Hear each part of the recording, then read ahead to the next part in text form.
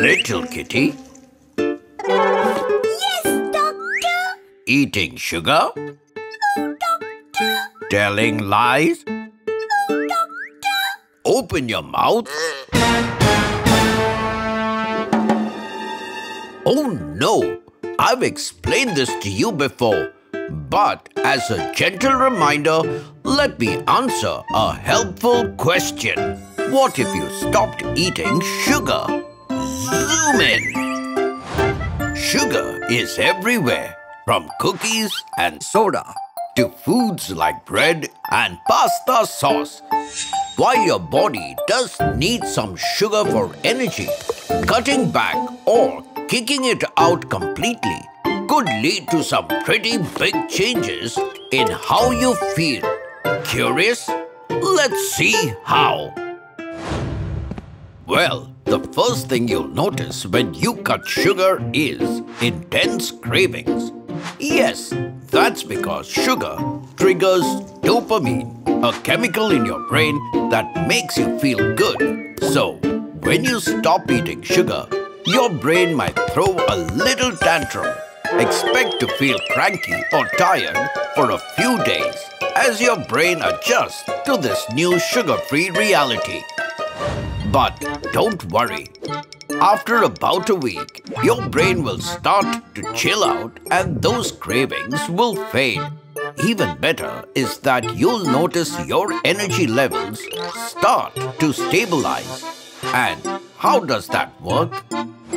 Well, sugar gives you quick bursts of energy, but that's followed by a crash that leaves you tired and hungry again. Without those sugar bombs, your energy will come more steadily from healthier foods like fruits, veggies, and whole grains. These foods fuel your body without sending you on a wild energy roller coaster.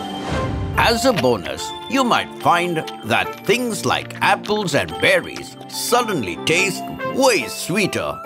That's because your taste buds are no longer overwhelmed by all the added sugar you were eating. Hmm, who knew a banana could be so delicious on its own? Cutting back on sugar also helps balance a hormone called leptin, which is like your body's natural food alarm.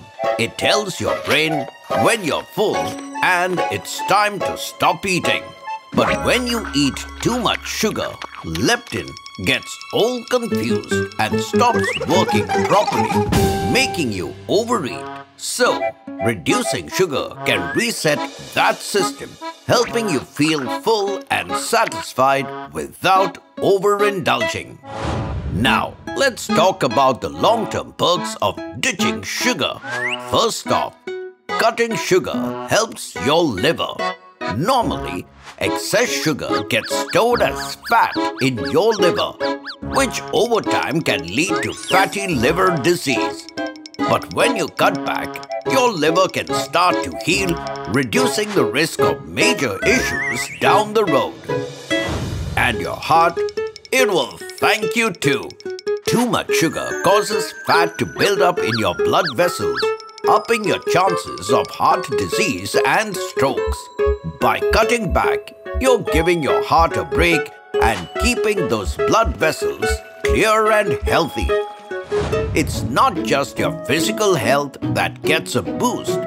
Reducing sugar can help stabilize your mood. So, you're less likely to feel these emotional highs and lows that sugar causes.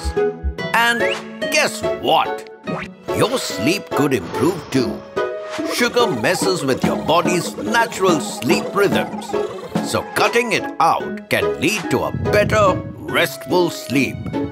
Oh, and if you're prone to breakouts, considering sugar causes inflammation, which can lead to acne, reducing sugar might just help clear up your skin, giving you a clearer, healthier glow. So, ready to give it a try? Your body and your future self will thank you. Trivia time! Did you know that sugar is a general term for a category of carbohydrate compounds? But those granules or cubes of common table sugar are specifically sucrose. To know more, check out our previous video on the topic. Sketching time!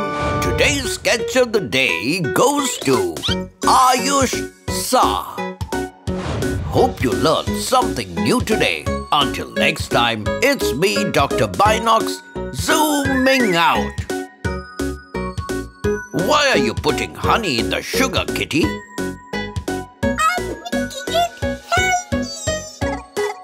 Never mind.